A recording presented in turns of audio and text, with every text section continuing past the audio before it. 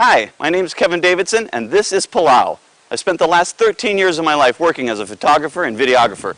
I've come to know these islands well. I feel like I know them like the back of my hand. Oh! And now I know where this really big rock is. And I feel like I could take you to see it at any time because I most certainly will not forget where it is again. Oh, Ow! Today on This is Palau, we'll be taking a look at some members of the cephalopod family. The cuttlefish is related to the squid, the octopus, and the nautilus, believe it or not, which we'll be also taking a look at on later on the show. The cuttlefish lays its eggs in latticey type of reefs or fire coral. And I have some wonderful footage of those eggs in the reef and also of them hatching. I do not have footage of how a cuttlefish mates, but I do know that they do get together, form something like this with their tentacles, and pass off a spermatophore or a sperm packet to the female. Afterwards, they part ways and the eggs are laid on the reef. And I'd like to give you my renditioning of how cuttlefish might mate. Life on the reef is a fairly simple and easy life. Sea creatures come and go, and occasionally some get along together better than others. When the cuttlefish searches for a mate, he's very excited at the prospect of finding a partner. He searches everywhere and tries to attract the attention of another cuttlefish. However, it's a harsh and cruel world out there, and sometimes the going gets tough, and even downright boring. Until, to his surprise, he spots a potential mate. The female responds with some flattering and misleading looks, thus confusing the male into thinking he is desirable. A typical trick with females. The male does his best to look presentable and then performs his mating ritual. After a while, the female toys with his emotions some more and decides to give him a break. Maybe not a bad catch after all. She is certain that she can change his bad habits and make him a better male. Pretty soon, hormones take over and both parties make some pretty bad decisions. As the cuttlefish get together to exchange DNA, the male has a present, a sperm packet or spermatophore, which he gives to the female, placing it inside her body. The male acts like he knows what he's doing, looks confident, and the female pretends to enjoy herself. After a bit of time, it turns out that the cuttlefish end up having a good time after all. And so continues the cycle of life.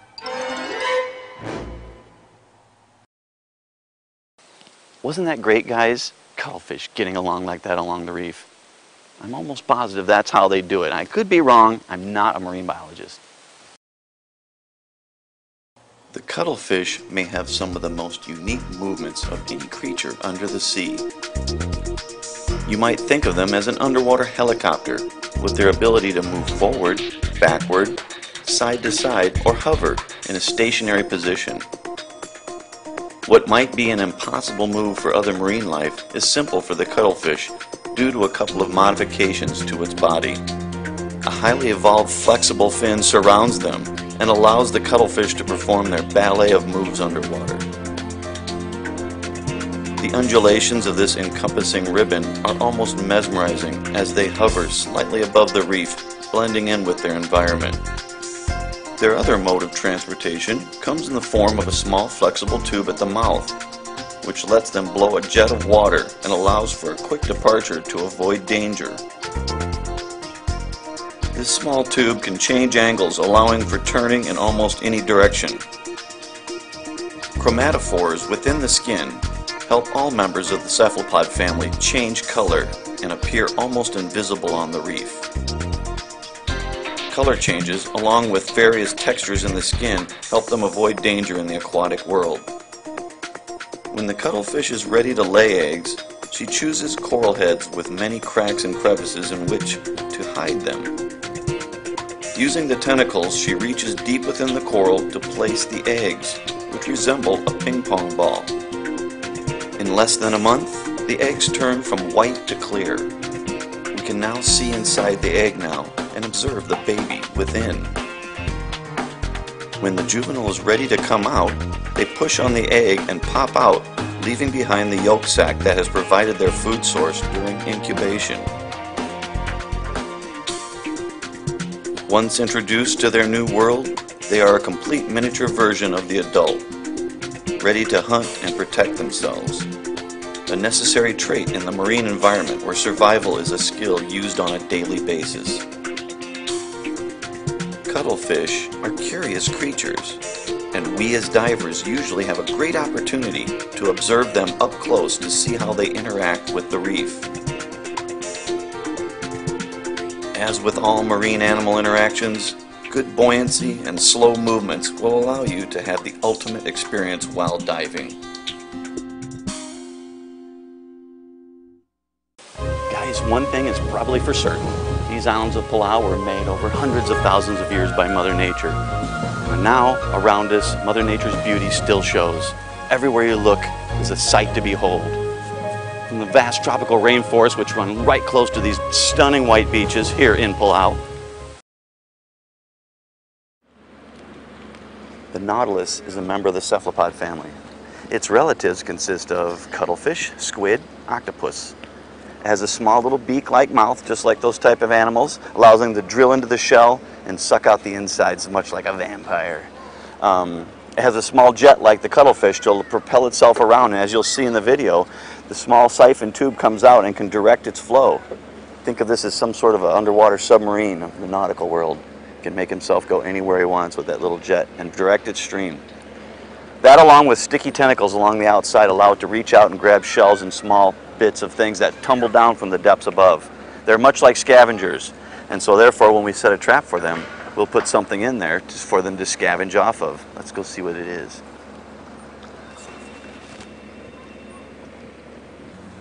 This is what we use to catch the nautilus in. If they're living at a depth of a thousand feet, it's very difficult to swim down there on scuba tank and get them, right? So we have to drop a trap down on a line, thousand feet deep. In the front of one end of this cage is a funneled opening. When they find their way in there, they get trapped inside. Nautilus check in, but they don't check out. The next day we pull the trap up.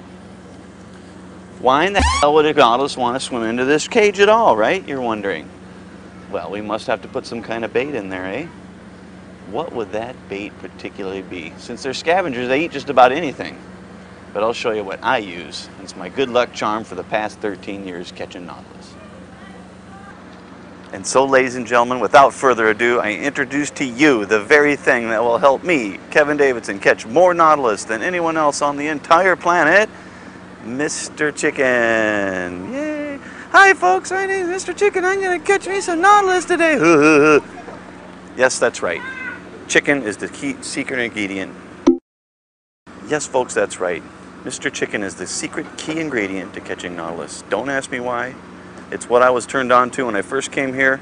And so we string this guy up inside the cage. And the smell from the fat, perhaps the layers of, you know, something different other than fish. Fish works too, of course. You take a chopped up fish and add it to the cage also. Might bring you a little good luck. But this is my good luck charm right here. And there we have a tied up chicken suitable for framing. Guys, what's the difference between erotic and kinky? Erotic is when you use a feather. Kinky is when you use the whole chicken. Let's go catch nautilus.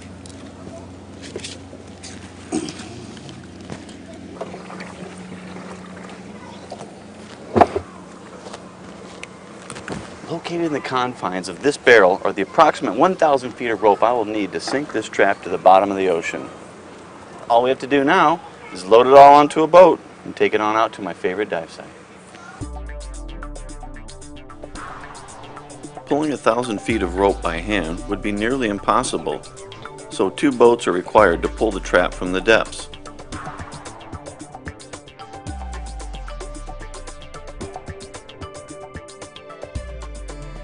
Once in shallow waters, the cage can be examined closely. Nautilus have been propelling themselves through ancient seas 265 million years before dinosaurs inhabited the Earth. The Nautilus is described as a living fossil since they have remained virtually unchanged for millions of years. During the day, Nautilus enjoy their dark, cold waters at depths from 9 to 2,000 feet and ascend to 3 to 500 feet at night to feed. So if you see one underwater, you're diving too deep.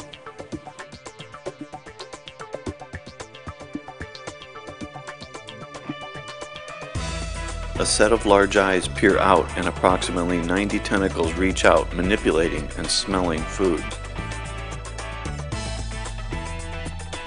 You can feel their jet propulsion system at work located at the bottom of the main body. The Nautilus of Palau grow rather large and this juvenile is no bigger than my hand. You can tell that it's a baby since the stripes run right up to the base of the shell where the adult has a white area at the front. If you take a nautilus and hold it in any other position, it will right itself immediately back to its original position due to the air chambers inside.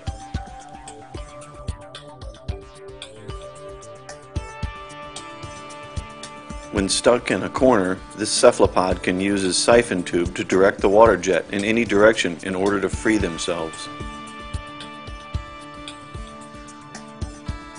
In case of predators, this prehistoric animal can withdraw into its armor and cover with a tough, leathery hood. If drastic danger is pending, the Nautilus uses the siphon tube to spin around quickly, making it difficult for triggerfish and snapper to bite through the protective cover.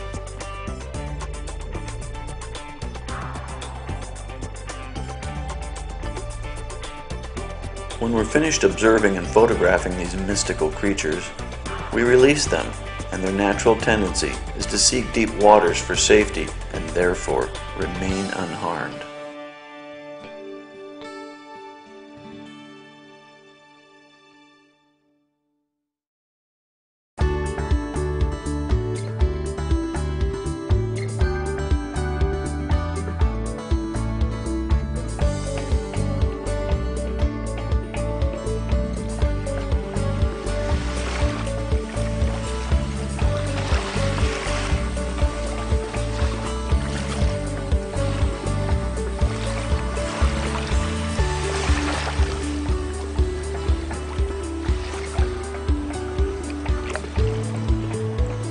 Join us again for another exciting adventure in Palau.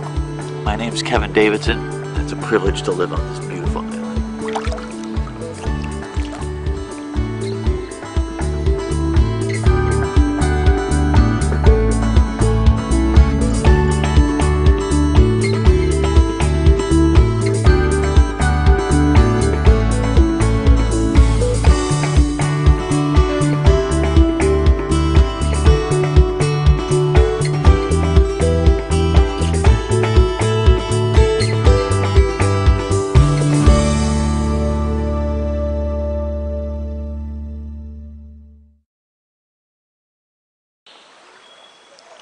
have a shirt. Where can I clip this at?